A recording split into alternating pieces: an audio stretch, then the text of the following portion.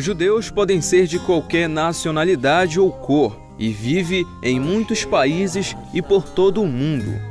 A religião dos judeus é o judaísmo, mas você pode ser um judeu e não seguir nenhum preceito ou prática religiosa.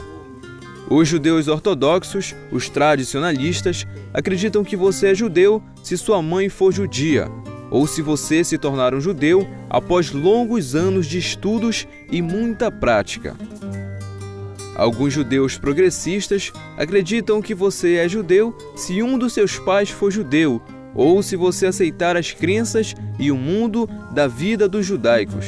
A imigração judaica do Marrocos para a Amazônia completou 200 anos. Breves faz parte desta história. Saiba quais foram as razões que causaram essa imigração. Tivemos influência da cultura judaica e elas a nossa? Quem foi o brevense judeu que se destacou em todo o mundo? E qual o papel de Breves dentro desse processo imigratório e os descendentes desses judeus. Uma viagem abordando esse tema, que há dois séculos faz parte da nossa história. 200 anos da presença judaica na Amazônia.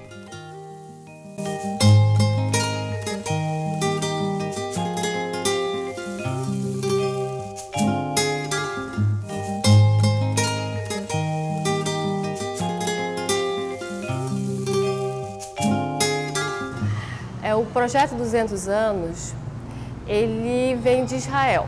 Né? Então foi concebido pelo Dr. Davi Salgado, que é um historiador, pesquisador também, e ele é líder da, do jornal Amazônia Judaica. Então o principal objetivo do projeto é justamente resgatar e valorizar as nossas, eh, nossas origens judaicas aqui na Amazônia.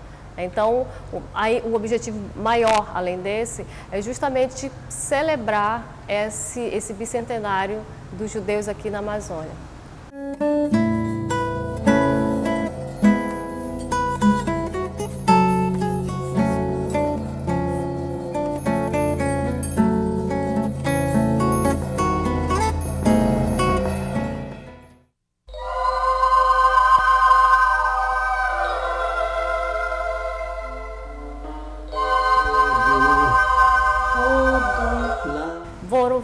Verdade, foram fatores assim diversos. Eu vou acrescentar três para ti: social, econômico, né, e religioso. Então havia uma perseguição no Marrocos, naquela em 1810, século XIX, havia uma perseguição em cima dos judeus, exatamente por eles não quererem seguir o islamismo, né, que é uma religião é, que é árabe.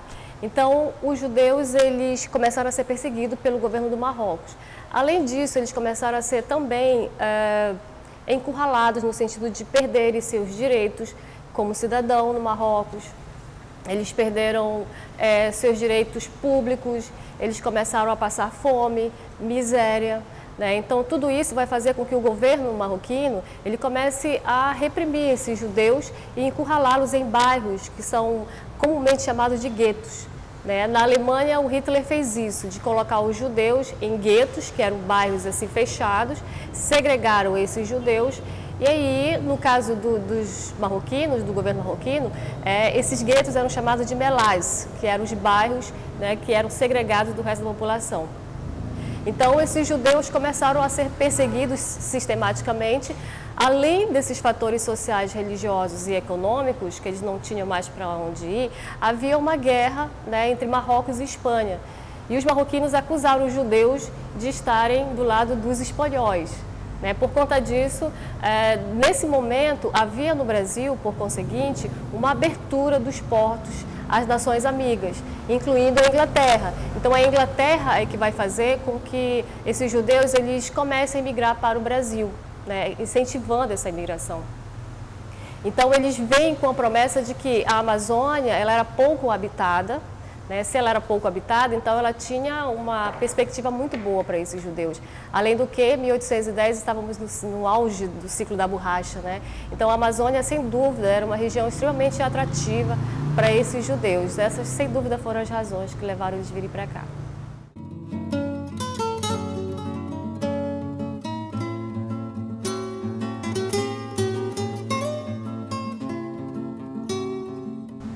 Pelo contrário, né? no momento em que os judeus chegaram aqui na Amazônia, havia uma certa liberdade de culto, né? que foi decretada pelo Dom João VI. Então, a partir daí, a Inquisição ela se desfez, tanto em Portugal quanto na Espanha e aqui no Brasil também. Então, por conta disso, eles começaram a ter uma certa liberdade de culto que eles não tinham no Marrocos, como a gente estava falando. Então, eles, sim, eles poderiam fazer os rituais, né, poderiam fazer, é, construir sinagogas, tanto que em Belém foi se construída uma sinagoga em 1889, lá na, na Avenida Arciprestes, e eles tinham sim liberdade de culto aqui no Brasil.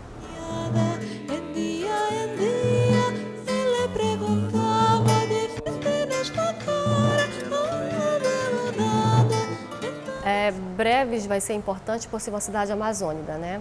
Então, quando os judeus chegaram na Amazônia, eles vinham, em sua maioria, para Belém do Pará. De Belém do Pará, eles tinham um comerciante que distribuía é, mercadorias para eles poderem vender no interior do Pará. Então, por conta disso, Breve, sem dúvida, foi um dos pontos mais importantes dessa migração, devido a essa proximidade com Belém né, e de ser uma vila já constituída. Então, eles chegaram assim é, em famílias para cá para o nosso município, né, famílias como os Sarraf, os Botebol, o Chocron, Rofé, Pérez, todos eles vieram numa só gama, né, num só navio, chegaram aqui e se instalaram. Né? Alguns foram entraram em breves e foram é, para vários rios assim, né, é, ao redor. Mas a maioria ficou aqui no nosso município. Breves né, foi do, do ponto de vista histórico extremamente importante. Né, por conta da proximidade com Belém é, de ser um dos focos da produção da borracha também. Então eles vinham é, em famílias, né, em bandos, esses judeus marroquinos, e aqui eles permaneciam.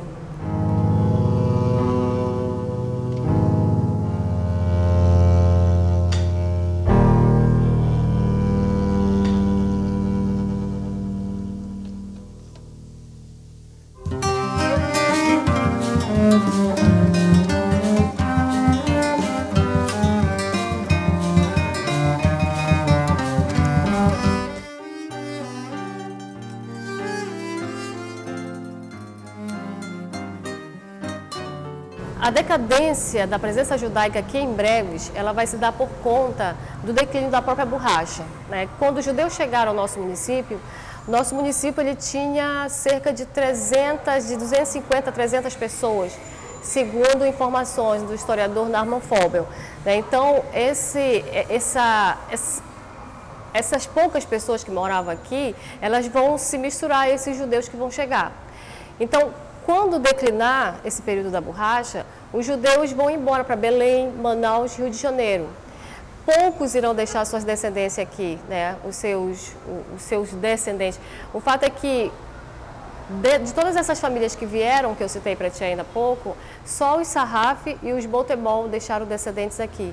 Então, família Gabay, Rofé, Zaguri, foram todos embora para Manaus, Belém e Rio de Janeiro.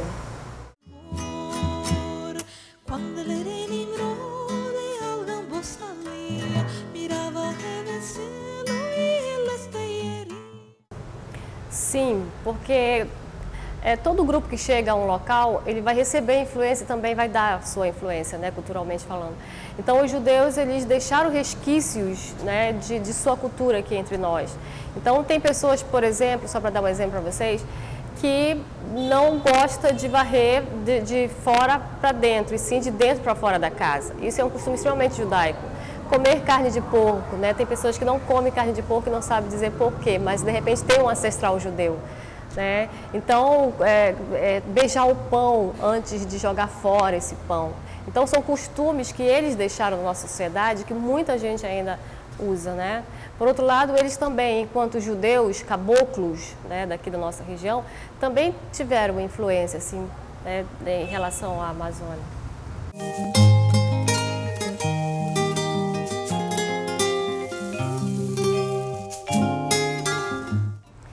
Esses judeus marroquinos que chegaram em breves eram chamados de sefarades pelo fato de terem vindo da Espanha. E aí eu vou ter que me explicar um pouco mais e além para te entender. Existiam os judeus palestinos que moravam em Jerusalém, né, por volta do século de 400, 300 é, depois de Cristo, esses judeus eles foram expulsos pelos romanos. Então os romanos expulsaram os judeus da Palestina, né, de Jerusalém. Esses judeus eles se espalharam, então foi uma espécie de segunda diáspora judaica. Né. Então, uh, esses judeus saíram da Palestina e muitos deles se espalharam pelo mundo. Dentre esses judeus foram alguns para Espanha. Né. Então, na Espanha, eles permaneceram cerca de 300 anos mais ou menos, né, vários séculos, e então, quando é, eles permaneceram lá, eram chamados de sefarades, ou seja, judeus espanhóis. Saíram da Espanha fugidos da Santa Inquisição, né, porque o rei da Espanha decretou que todo judeu deveria se converter ao catolicismo, eles se recusaram, né, então saíram rapidamente da Espanha e foram para o Marrocos. Né, foram expulsos da Espanha, chegaram no Marrocos por eles serem espanhóis, judeus espanhóis, os marroquinos deram o nome de Sefarad, que quer dizer Espanha em hebraico. Né? Então, eles ficaram conhecidos como judeus sefaraditas, ou seja, os judeus espanhóis.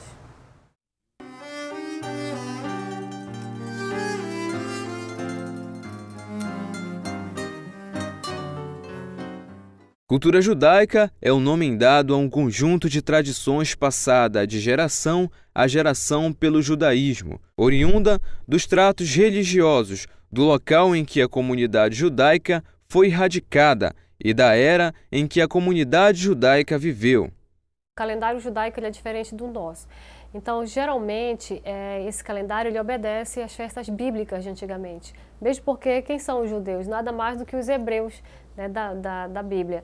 Então, por exemplo, o Shabat é uma celebração né, hebraica, eles começam, o Shabat é um, um o sétimo dia que eles descansam, mas eles celebram na sexta-feira o início do Shabat. Além do Shabat, nós temos a Pessa, que é a Páscoa judaica, que comemoram a saída dos judeus do Egito. É, tem também o Shavuot, que é a, a, entrega que Deus deu a Moisés, a, a, entrega dos Dez Mandamentos no Monte Sinai. E tem a Shavuot, né, a Sukkot, desculpa, que é a festa das cabanas. A Sukkot, eles ficam uma semana é, festejando as boas colheitas. Além da Sukkot, tem a Hanukkah, que é a festa das luzes, na qual eles festejam a, a supremacia do povo judeu em cima do povo grego, porque o povo grego tinha, na verdade, entrado no templo e lá eles profanaram o, o, o, templo sagrado, né? Então, os macabeus, que eram guerrilheiros judeus, eles se juntaram né, e foram e enfrentaram os gregos.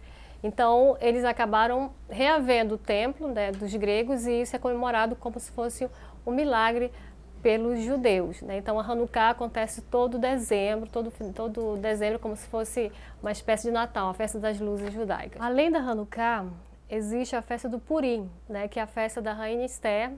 A Rainha Esther ela salvou os judeus das mãos do Haman, que era o primeiro-ministro persa, e ele estava planejando matar os judeus. Né? Então, a Rainha Esther acabou salvando e os judeus, para comemorar esse, essa salvação, né, eles fazem uma espécie de carnaval, que é todo janeiro, fevereiro, a Meglat Esther. Basicamente são essas as celebrações.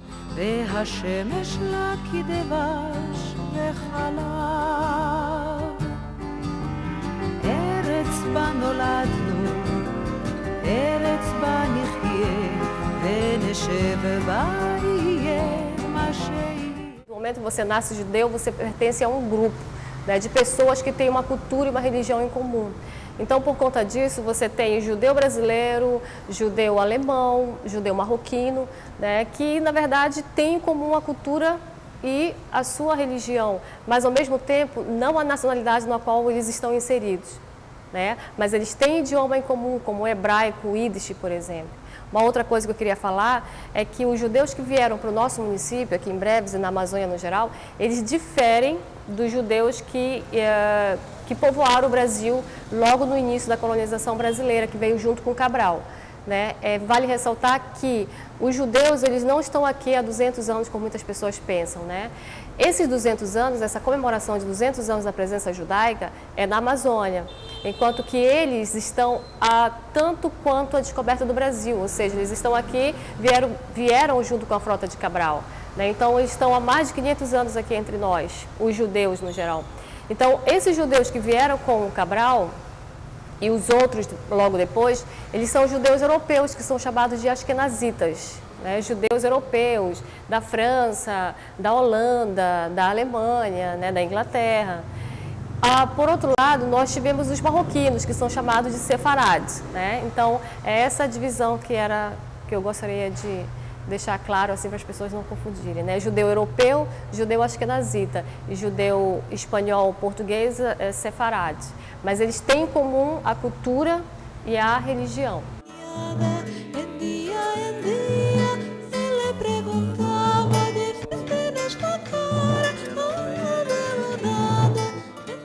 Chama Davi José Pérez. Né? Ele nasceu em Breves, em 1883, dia 1 de março, e ele saiu com 12 anos daqui. A família dele veio do Marrocos para Breves, ele ficou até os 12 anos. E dos 12 ele foi para Itacoatiara, em Manaus, depois ele foi para o Rio de Janeiro e voltou até para o Marrocos. Então ele voltou do Marrocos para o Brasil e fez uma carreira como, primeiramente, ele se formou em Direito, depois em Pedagogia, ele se formou em Economia, ele foi uh, Letras também, né? Então, ele foi um literato, além do que um tradutor, conhecedor de línguas como latim e hebraico. Então, ele se tornou um tradutor muito famoso no sul e sudeste do Brasil, além do que ele, ele tinha a profissão de jornalista. Quer dizer, então, o seu Davi José Pérez, ele era um intelectual sem igual. E no, nesses momentos de jornalismo, ele também eh, foi o primeiro a editar um jornal eh, hebraico, em língua hebraica, né, para todo o Brasil, chamado A Coluna. Então ele foi importante porque, além de ser o precursor no jornalismo hebraico, ele também foi o primeiro sionista, um dos primeiros sionistas no Brasil. O que, que é o sionista? O sionista né, é aquela pessoa uh, da cultura hebraica, né, dos judeus, que uh, se sobressaem através de uma política que visava, naquele momento, criar-se um Estado de Israel. Então, os sionistas era como se fosse um nacionalismo judaico. Né? Então, o Davi José Pérez ele vai ter uma importância sem igual, porque ele vai entrar em contato, inclusive, com o consulado inglês, para que a Inglaterra ela agilize né, essa criação do Estado de Israel. E, inclusive, né, ele vai ver a criação do Estado de Israel em 1948. O fato é que ele se tornou muito famoso, muito ilustre.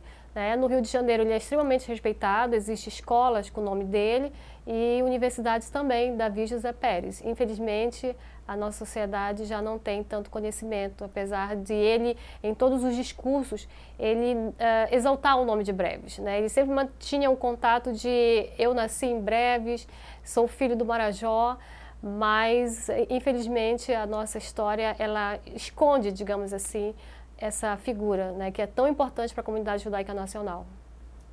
Davi Pérez foi anfitrião de Albert Einstein quando o mesmo veio ao Brasil em 1925, no Jockey Club do Rio de Janeiro.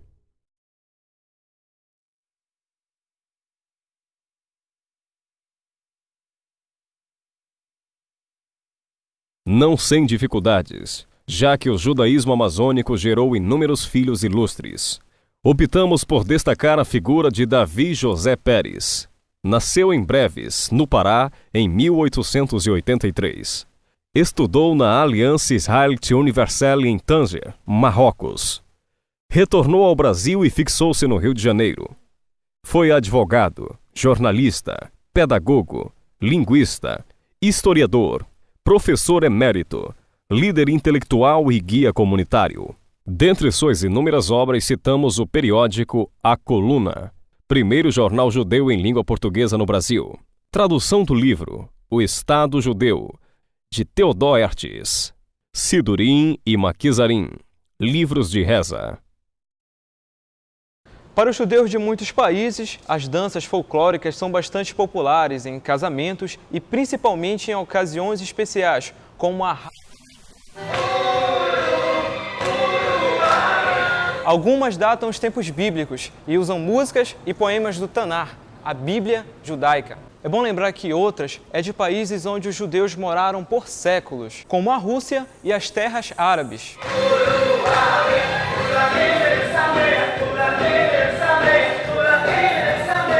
Rava Nagila é uma música do folclore judaico, né? Ela foi composta em 1910 por um aluno de uma yeshiva, que nada mais é do que uma escola hebraica para os meninos. Então, uh, essa música vai sair do momento em que o professor ele vai pedir para que um aluno escreva um verso para essa melodia. Então, o, aluno Nathanielson, ele vai é, escrever uma letra né, baseada no Salmo 121, que é Exaltaremos no Senhor. Então, a partir daí, o Rav Nagila se tornou uma espécie de, é, de hino judaico né, na qual todas as culturas, sejam nacionalidades diversas, assim, na qual os judeus eles estão inseridos e eles sempre usam essa canção em festividades, seja casamento, comemorações, enfim. Então é uma música extremamente conhecida do folclore judaico.